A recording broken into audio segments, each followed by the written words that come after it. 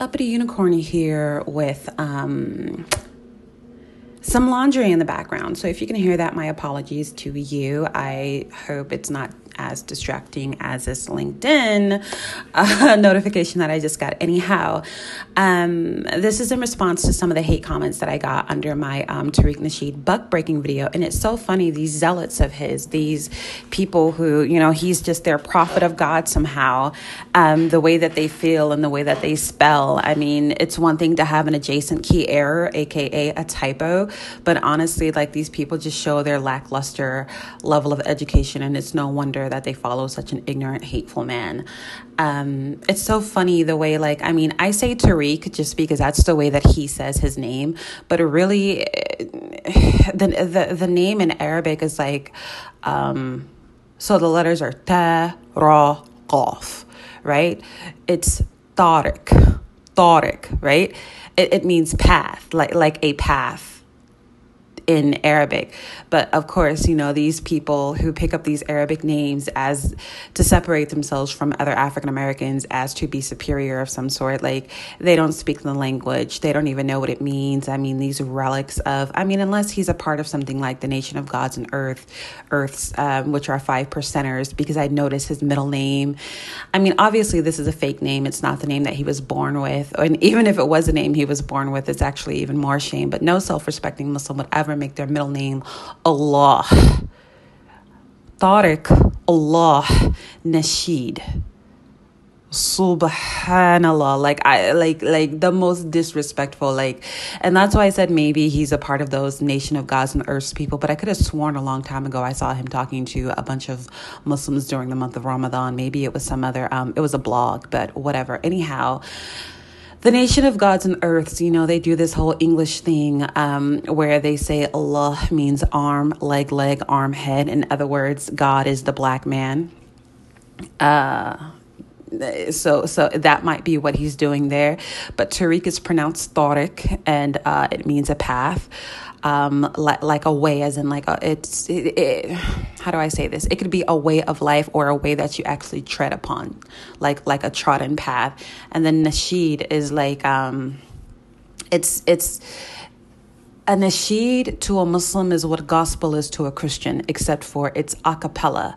So a nasheed is closer to what an African American would call a Negro spiritual than what you would see in church with, you know, a bunch of instruments. You know, a Negro spiritual could be like a field work song where you're in the fields and you're, you know, picking cotton or digging to a beat, right? Um, like like just a stump clap, stomp clap, stomp clap, or something like that, but not, it's basically uh, a cappella without instruments. So, anyhow, Tariq Allah Nasheed. There, there you have this guy's name, anyhow, and I'm sure the majority of his father followers have no, eh, they have no reference to any of these words because they're ignorant anyhow, so I have uh, a number of really hateful comments here, and I implore you to go and read them. Um, but however, I mean, if you have a sensitive heart, as do I, then then don't. But this Nunu Loader guy, Loader, L O E D E R R, Nunu Loader says in all capital letters. Um, with horrible typing and, and spelling. It's not just an adjacent key error, it's or a typo, it's just actually pathetic spelling. It says, Shout out to Tariq. He, he's the only one bringing the hurtful or hurtful, H I R, uh, hurtful truth. The man brings facts. You just, as in Y A, you just refused to accept it. If you don't like being called a bedwench, don't act like one. So this guy is incredibly ignorant and uneducated, and it would make sense because that's probably what you would have to be in order to submit to the leadership and uh, teachings of a man like Tariq Nasheed. Tariq Nasheed, like uh, Kevin Samuels, I define as a broken clock. They truly are right at least twice a day, but um, unfortunately, that's not enough to tell time. So, um, the part of this that I want to focus on, I mean, is that if you don't like being called a bed wench, don't act like one. So I replied to him, I wrote such a sad comment. I'm sorry you took the time to write something like this in public. However, I wanted to use this as a teachable moment because I know that these men love to scream this word bedwench, bedwench, bedwench. Now, me myself, look, I just got back from the nail shop. I got a fill my very pro black, African American, high value, six figure man who owns and operates multiple businesses, you know, takes care of me. I am a stay at home girlfriend, whatever you want to call me. Um, with a ring on my finger, so I'm not going anywhere. Not married, but not going anywhere. Claimed nonetheless. Anyhow, um, but he assumed by it, it could be my voice, my accent, my self carriage, whatever it is that I'm in an interracial relationship. So, first of all, yeah, I mean, this is clearly a person who's never gotten out of their backwoods, backyard, back alley hood rat ghetto to understand that there are diverse kinds of African American women who we don't need a ghetto Shaniqua accent to be proud of who we are and proud of where we come from and proud of our roots and culture. And also, um, this word bedwench is really on par with the N word.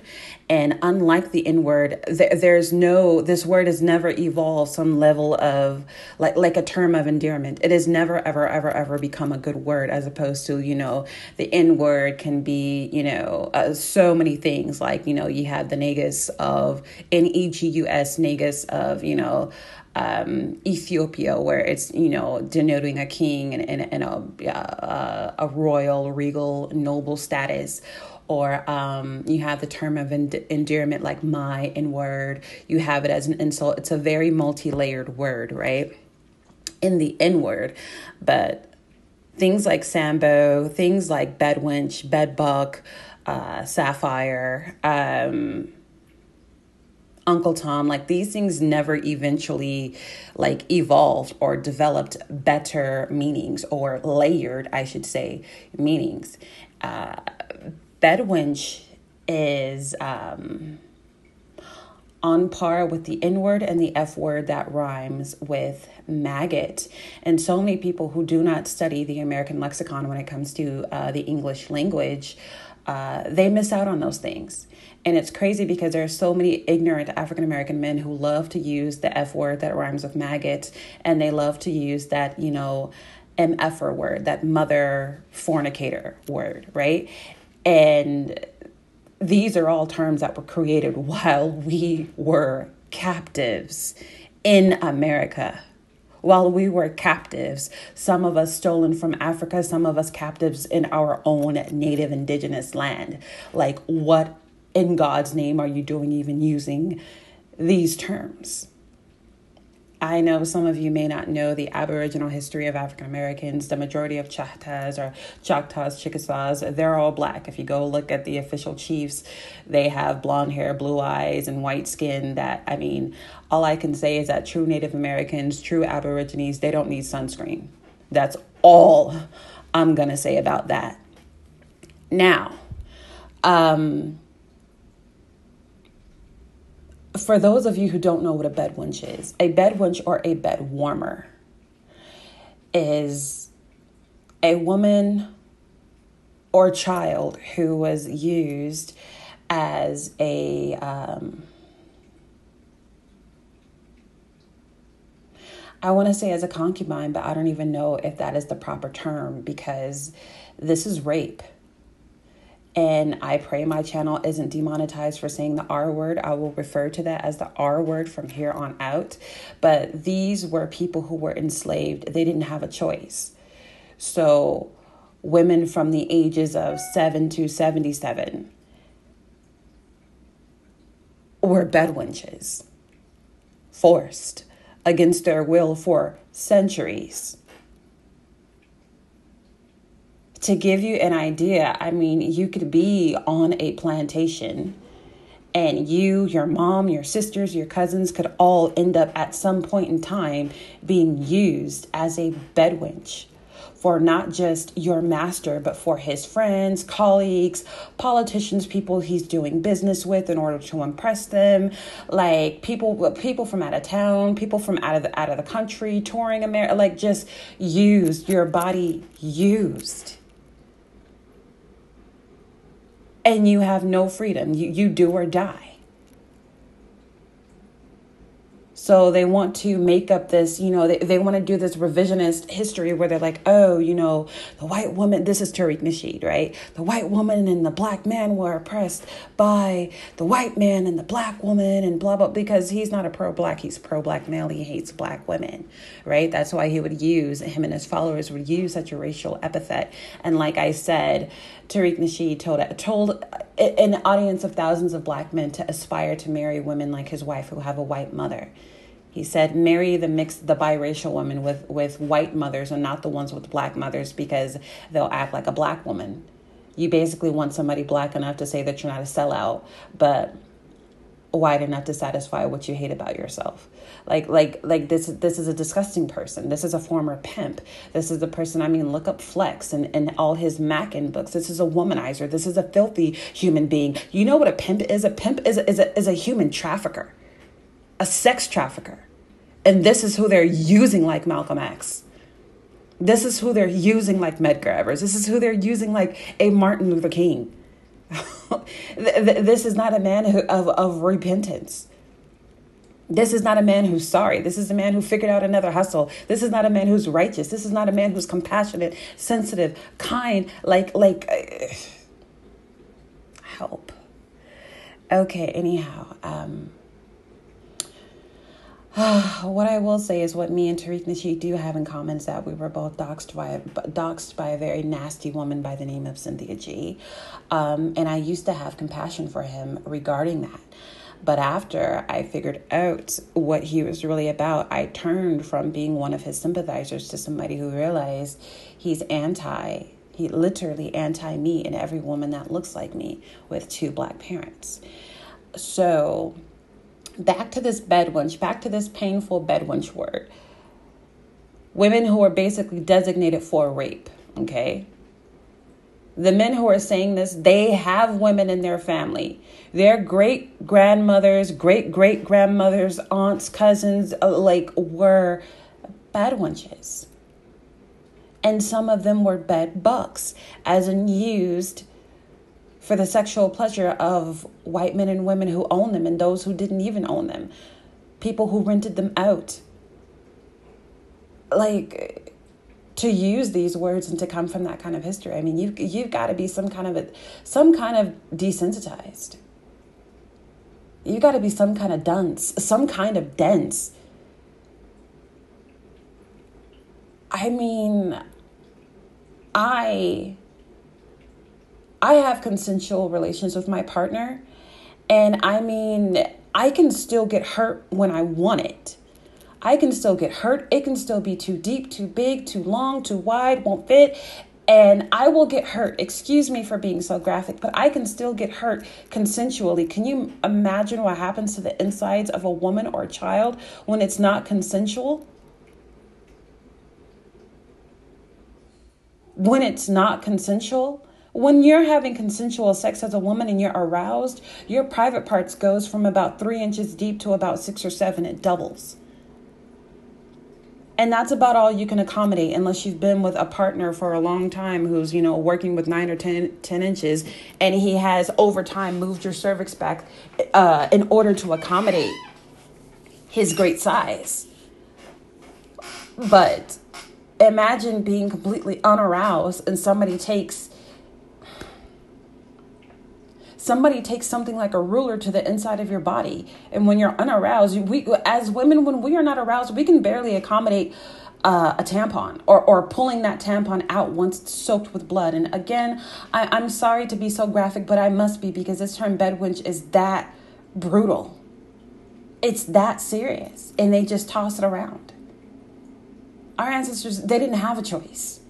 And they're like, oh, you liked it, you liked it. Well, here, here's the deal some women, if they knew that they could protect their families because the master was in love with them or in lust with them, yeah, they used sexual manip- manipulation in order to make sure their son didn't get sold down the river or their grandmother didn't get, you know, whatever, or their dad didn't get beaten to the point of death, right? By manipulating the heart of a master who may have fallen in love with a black woman or a quote unquote mulatto woman or an octoroon or a quadroon or whatever she was it was still an act of survival. Either way you put it.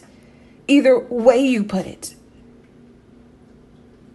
Stop giving victims some kind of imaginary power. Like, like this is sick. The way that this revisionist history is is sick. The rape of your ancestors is supposed to hurt you. You're not supposed to be immune to that. You don't see i mean this this this is uh, the the the poor state of some african americans mentally right? This is why i think just being african american alone should entitle you to to state funded therapy. Like like you need therapy for being african american in america. You might not need it for being somali. You might not need it for being nigerian but you definitely need it for being an african american alone it, there's just too much to deal with every day and, and the things in our past that have created our culture today. This word, this F word that rhymes with maggot, was meant to describe African American men. When you Google the word FAG, when you look in the Merriam Webster, you are going to see a word, the definition is going to say a bundle of sticks or a stick from a bundle of sticks. Google it. Now, how did that word FAG become FAGGOT? Black men would be raped and killed as a part of a buck breaking system. Now, a buck is like, you know, like like a deer, you know, a male deer, whatever, a young one, just like a stallion is like a young male horse, blah blah blah. But like we would we were chattel. We we were considered cattle, property. So we were called bucks as well.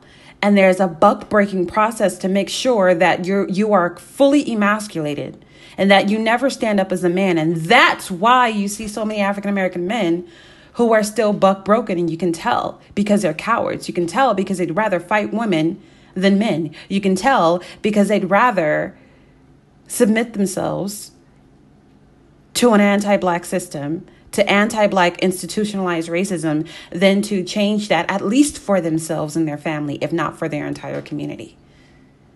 Now, my man is not like that. But clearly, I mean, clearly Tariq Nasheed is an expert on the subject for a reason. He can relate.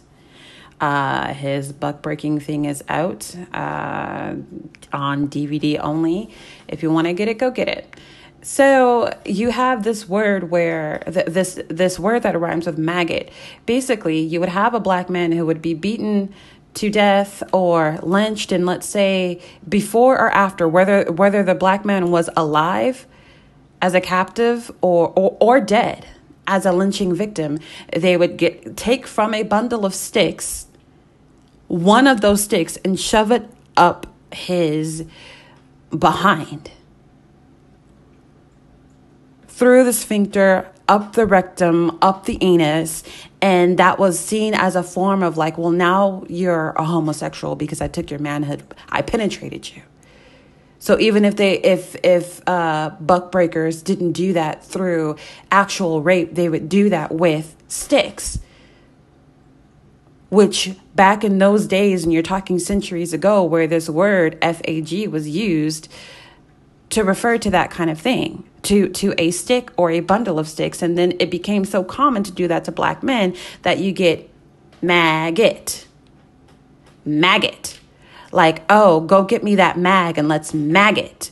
I'm, I'm using the word maggot for a reason, but literally, like once you put the stick up the guy, then that, that dead corpse that has been completely desecrated, emasculated, is called a maggot. And they're the ones who throw this word around the most. Isn't that crazy? When you want to know what's wrong with the culture of a group of black people, whether they are Caribbean, whether they are, you know, any colonized group of black people who, you know, maybe King Leopold came and chopped up their hands and stuff, and you wonder why they're at war and they're severing each other's limbs, all you need to do is look at the way that their white colonizers treated them, and then you'll see what's wrong with their culture because we've internalized that. We just stopped beating our kids like slaves with belts. We we just stopped beating our kids. As, as 80s kids, we were the last to be like lashed that way. passed down. It became part of our culture to, to, to whip one another like slaves. And so, using this F word, using this bedwench word, and I also want to get to the word mother effer. There's more than bed bucks and and and and and bed wenches. There, there's something called a breeder. Breeders.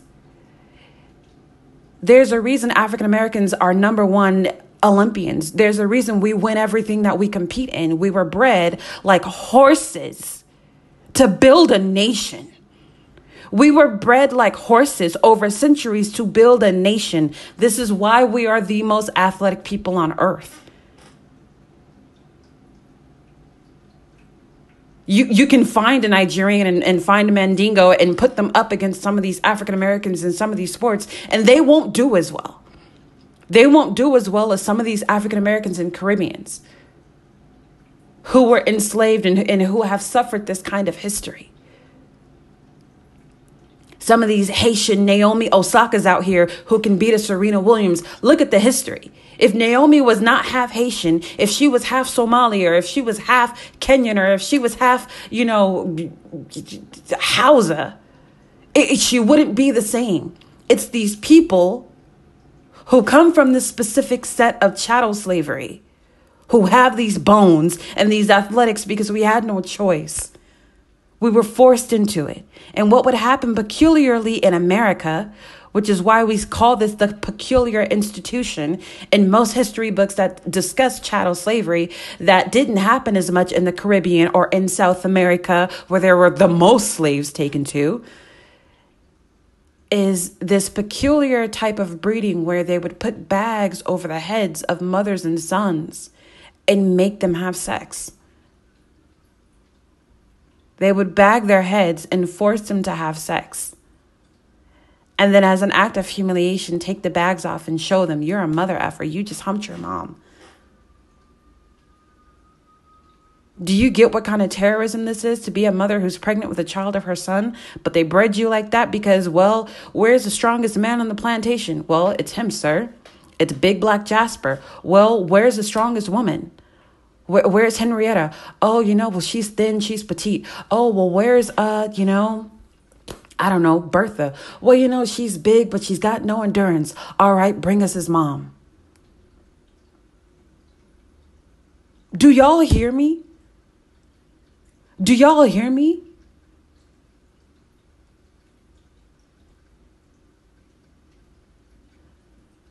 So you're breeding people to be big, strong, and dumb.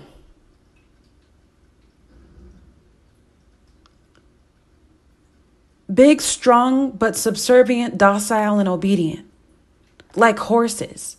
A big, powerful animal that will do whatever you tell it to. And if it doesn't, you break it you break its spirit or you kill it. You break its spirit or you kill it. Do you, do you understand me? So when they're using this word bedwench, like like, uh, like uh, creeps, disgusting. Now I empathize and I sympathize with swirlers, divestors, all these things, but yes, my man is black. But even if he was white, so long as I am having consensual sex that I agree to,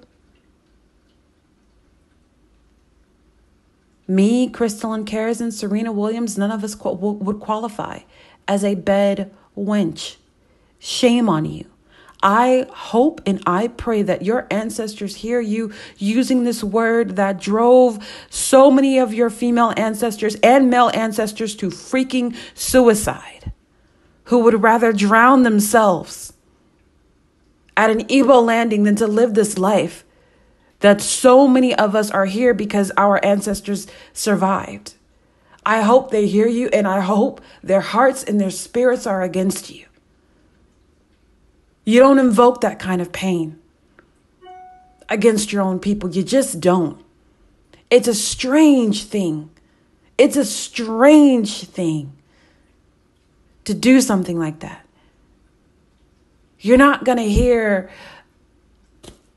people, th- th- these Europeans who suffered through the Holocaust, you're not going to hear them talk about what the women had to do in concentration camps, what they were forced to do. You're, you're not going to hear them clown each other with that word. This, this is amazing that you that you can even talk like this and then call yourself pro-black. I hope your great grandmother hates you. I hope all your great aunts dead in their graves their spirits whenever with whatever power they have as ancestors i pray it's against you. Until you rectify this thing in your heart where you think that it's okay to call people bed wenches.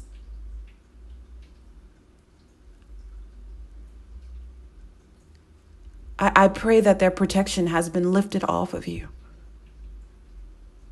You don't do that to them. It's not fair. I'm fine. I'm not being raped.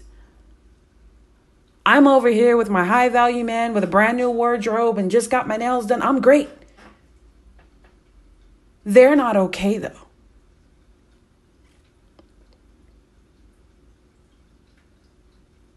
the way some of your ancestors, some of these bed wenches, so called bed wenches, were raped to death. How dare you invoke this word? Forget about me, forget about Crystalline, forget about uh, Kerry Washington. Like, how dare you? It's them. That's your real problem. It's our ancestors that's your real problem. You think you're just hurting us, but you're hurting them too. I know you idiots equate death with stopping, but it's not the end. It's it's not the end. Energy is never destroyed, it's only transformed. Take a science class. I don't know what to tell you. The, these people, I wish I wish there was some kind of a test to be able to have a voice on YouTube. I just oh my god. Oh my god.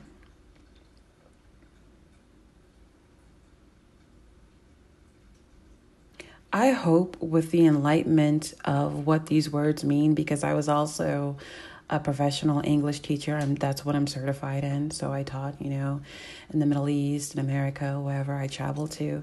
I hope that learning these words, this F word that rhymes with maggot, this mother effer, this uh, bedwench, and, and where these things come from, I really hope that it helps you to look at the English language just a little bit differently and watch what you say and watch what you invoke.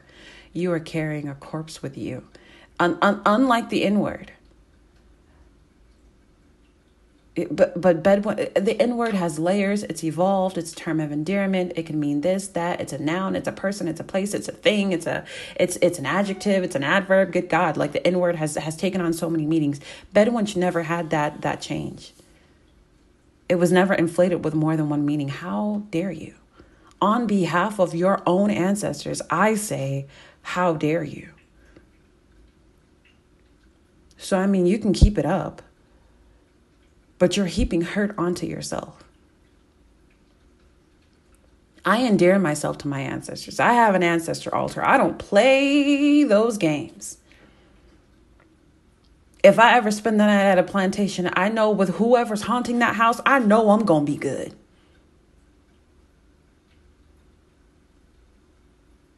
I know I'm going to be fine. I might come out of there with power. I might come out of there, you know, floating and levitating and, and walking on water. I know I'm going to be good because I endear myself to the people who came before me. I, I just got in the mail a bunch of ancestor money with Harriet Tubman on it, holding a gun. It's take a photo. It's on my Instagram. Shout out to three is a magic number. A Kenyan, a Kenyan who understands how to glorify and respect your history more than you do. This guy's a Kenyan. This guy's Kikuyu. But he comes from the tradition of the Mau Mau and he understands black freedom fighters and he knows what your legacy means more than your ignorant ass, ignorant ass does. And that's why he spends so much time making ancestor money with Harriet Tubman on it, with Bernie Mac on it, with FloJo on it, Florence Joyner. He, he gets it. He gets who your ancestors are and what they had to struggle through and what they paid with their blood, with their lives. They're dead. Some of them tortured to death. Some of them they prayed and their prayers were never answered in their lifetimes, but it was in ours. How dare you? Take their name in vain take their pain in vain with this bedwench word. Like, get out of here. Get out of here. I would rather every black woman who's been called a bedwench be with her white boyfriend than a man like you. Nunu loader or whatever, who, whoever you really are.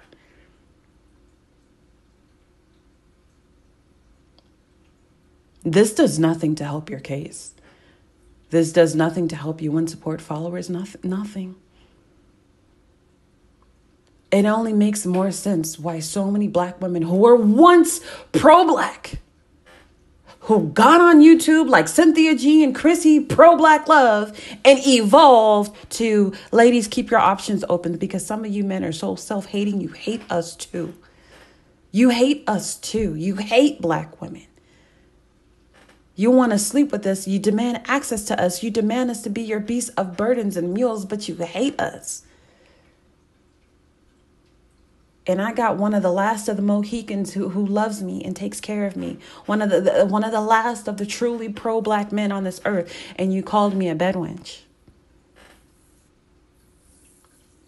Honey, my, my, my man I, I could buy where you live and sell it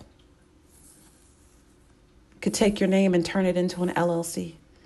Has hired more black people, white people, Asian people, near and far in different countries. Like, like, bro, bro. You wish you were a black man like my man is.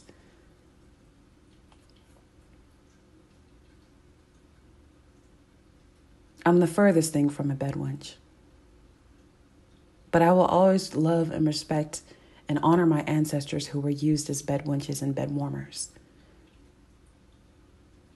I know rape, I know sexual assault. It's nothing, it's not a level of pain to take in vain. You're, you're a truly ruined person, all of you who are, who are throwing this word around, all of you. Hollow inside. And then you want to leave comments, ha ha ha ha, who hurt you? Your inability to experience hurt, pain, repentance is disgusting. Because that's where your humanity is. Some of these dogs have more humanity than you cats, birds, cattle.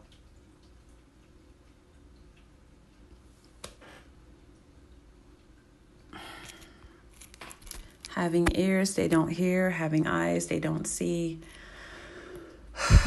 I'm Uppity Unicorn and it's been half an hour. I'm about to go ahead and eat my Panera. That babe got me with my, my my fresh full set that babe got me and my apartment that babe pays for on my $700 keyboard that babe paid for for my iMac that babe paid for and my apartment that babe pays for and I'm going to go ahead and upload this video with a few images that will hopefully make you think I'm uppity and I'm out